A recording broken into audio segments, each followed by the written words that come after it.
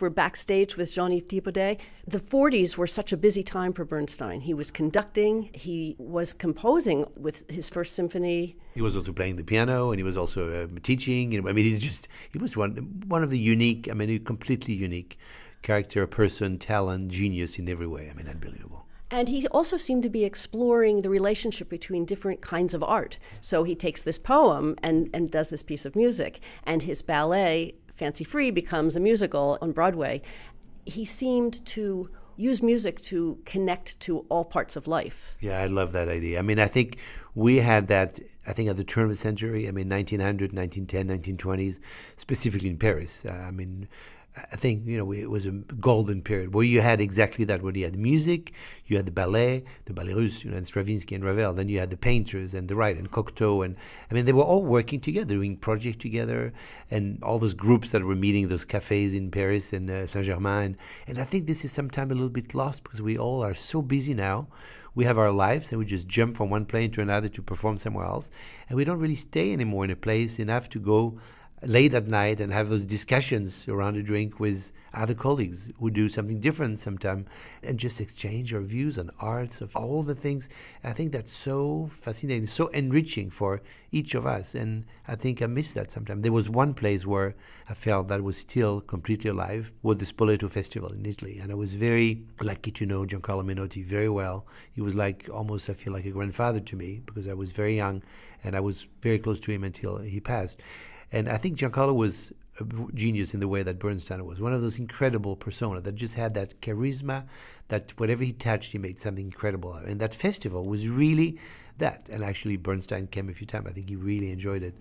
It was just a place where we would meet on the piazza after, at the end of everything at 2 3 a.m. We'd be all there with dancers, painters, actors. I mean, everybody was there and we were discussing and laughing. And, and that's so great. And I think this is exactly what you're saying, what Bernstein was after Uh, in, the, in this time.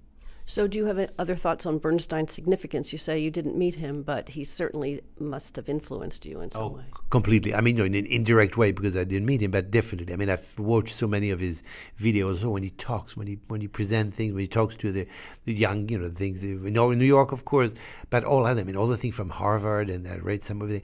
It's just fascinating. I mean, how can one human being have so much talent and, give so much? And it's just he must just have been such an incredible person to be near to. Well, and you also explore different kinds of music off the classical concert stage. You, have done jazz and you've performed soundtracks to movies.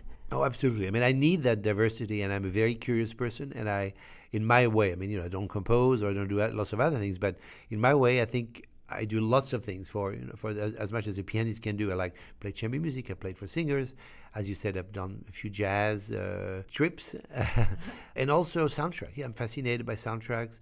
I live in Los Angeles for many years now, and, and the movie industry, of course, we're all fascinated somehow by it. But I think the relation between the movie and the music is something that is incredible that people sometimes don't realize. But I think half of the movie is the music. I mean, if you see when you see the movie without the music and when you add the music, that suddenly it becomes alive. So I have the most you know incredible respect for the composers. I think sometimes composers for the movies are, are a little bit looked up like like second class citizens. You know, it's like you have the composer and then the soundtrack. Like they're not really they they're not really composers. You know, and I think that's so ridiculous. And I think some people like Bernstein, and in those days, Prokofiev, Shostakovich, Korngold, everybody was writing for the movies, nothing wrong with that. And some of those composers, and absolutely phenomenal composers, and I have the greatest admiration for them, and that's why I love to work with them. And when I have an opportunity to do be part of a soundtrack, is great fun for me. How do you enjoy touring with an orchestra? When I tour, my problem is that it's always too short because we go to all these fantastic towns, but we don't stay there. We come in, we rehearse, we play, and we go. It's very rare that we can stay even an extra day, and so it's sometimes a little bit frustrating, but still. And I've been lucky to come quite a few places to to Israel and to Tel Aviv and Jerusalem and Haifa, and I have to say that it's a unique experience in your life. There's no other place like like Israel. Um, there really isn't. And when you go specifically, when you go to Jerusalem, there is a a power there, an intensity, a spirituality which is beyond all religion. And this is what I like about it. But there's so many problems in the world. It always has to go with religions, and there's always so many wars about that. But when you go there, you feel like they all come to a meeting point where it's all started, whatever you want to believe. But you feel that there's something so incredible in Jerusalem, so powerful. And every time I've been there, it feels good. I mean, I, I, think people who haven't been there should really go there because it's a feeling that you don't feel anywhere else in the world. And the audience is absolutely incredible. I mean, there's a love, appreciation of music and tradition of music that is at a level that it's very rare to encounter anywhere in the world. And of course, you know, the relation they had and the legacy that Bernstein left there, of course, will make a big difference. And I think being here with this piece, it's powerful. You mentioned the fact that there are so many problems in the world, but Jerusalem is so important to so many different cultures. Does music play a role in healing some of those problems that exist? Absolutely. I think music is one of the few things that are left in this world that, first of all, is apolitical. You know, there's no party. You can just music is just music. There's no religion. It's like the most universal language that you can really share with everybody. You know, we can go anywhere in the middle of the forest in Africa. You can play. That's what is amazing. And also, what is amazing that people will react and benefit from it, even if they don't know anything about music. And actually, I think those are the most interesting people, those who don't know anything about our music, and see how they what it does to them. And that's when you realize that music is so powerful. It also helps heal people. I mean, even medically, it's been proven that it helps in a lot of different things. For me, the most beautiful compliment is somebody that will come to you after the concert and say, I'm going through a really hard time in my life right now. I lost you know, my wife, or my mother is very ill, whatever it is.